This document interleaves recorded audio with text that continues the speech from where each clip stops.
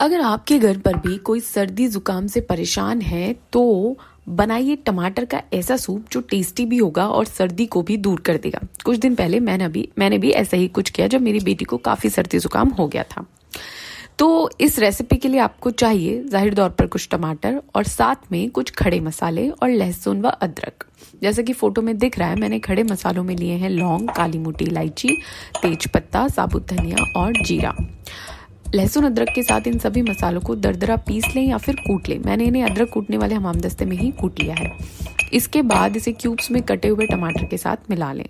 अब एक मोटे तले वाला बर्तन या कढ़ाई लेकर उसमें ये सारी सामग्री डाल दीजिए। फिर इसमें दो चम्मच कुकिंग ऑयल डाल दीजिए और इसके बाद मीडियम आँच पर इस मिश्रण को पका लें। दो तो तीन मिनट में जब ये मिश्रण पक जाए तो इसमें एक गिलास पानी डाल दें। और अब आपका सूप तैयार होने वाला है तो इस सूप को धीमी आँच पर पाँच से सात मिनट तक पकने दें।